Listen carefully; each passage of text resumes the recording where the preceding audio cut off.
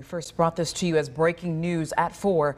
In the last few hours, police have identified the officer killed as Detective Greg Ferenczi. The FBI says at 2.15 this afternoon, the detective was ambushed and shot at local FBI office in Terre Haute. An FBI agent, as you heard earlier, shot the suspect. That suspect is in custody and receiving treatment at the hospital.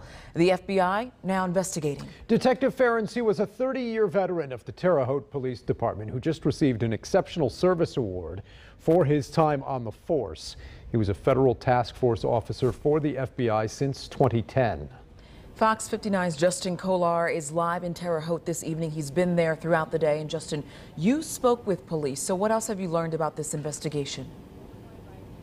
Yeah, Dan and Beairshelle, as you can see by the lights still flashing behind me across the street from where those shots rang out earlier today, the status of this investigation is still ongoing. We spoke with friends and co-workers of Greg Ferenczi who say that his presence here at the Terra, For Terre Haute Police Department will greatly be missed. We just received an official statement from the FBI about 30 minutes ago, and they are leading the investigation, of course, on this one after one of their own and a 30-year member of the Terre Haute Police Department, Greg Ferenczi, was killed in the line of duty earlier today. Everyone from the governor on down to everyday residents here in the Wabash Valley paid their respects to this public servant who paid it all on the line of duty earlier today.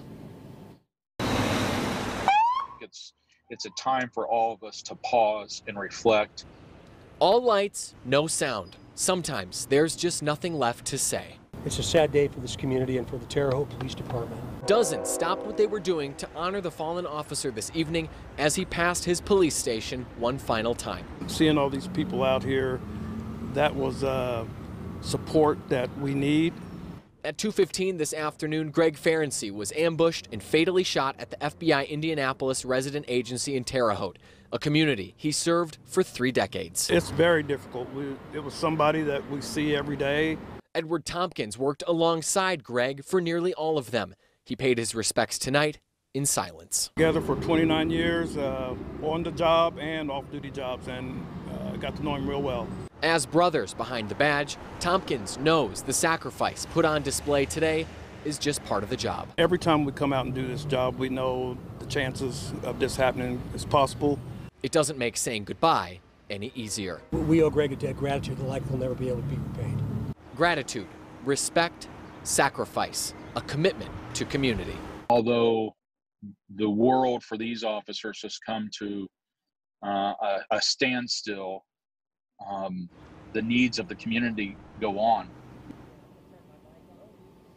Now, there is still much we don't know yet tonight, guys, but we are continuing to learn more. We do know that the suspect was shot by another FBI agent in pursuit after Greg was shot.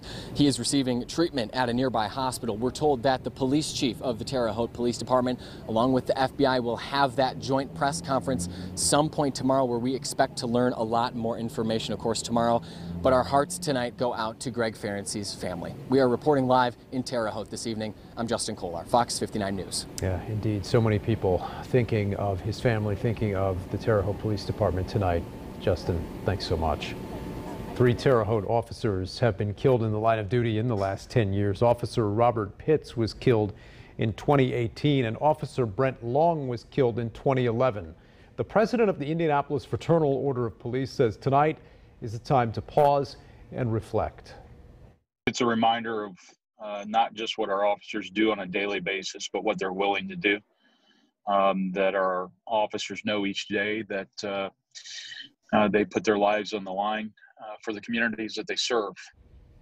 The critical incident team with the Indiana FOP is deployed in Terre Haute tonight. They're assisting Detective Ferenczi's family and will be available to help plan services to honor his life. Your show. This evening, law enforcement across Indiana are honoring Doc Detective rather Ferenczi. IMPD is among the many departments posting condolences on social media.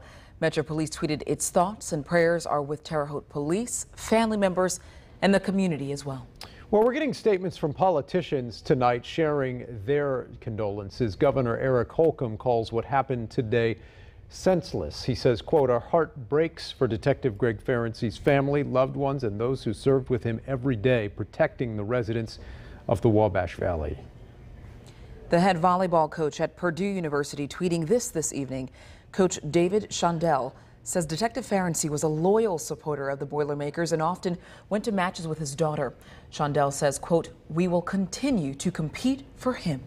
We are still working to learn more information about this investigation tonight. The FBI is leading that investigation because an FBI agent shot the suspect and because this happened at the agency's office. We expect an update from the FBI and Terre Haute Police tomorrow, so we hope you will stick with us here on Fox 59, both on air and online, for the latest developments.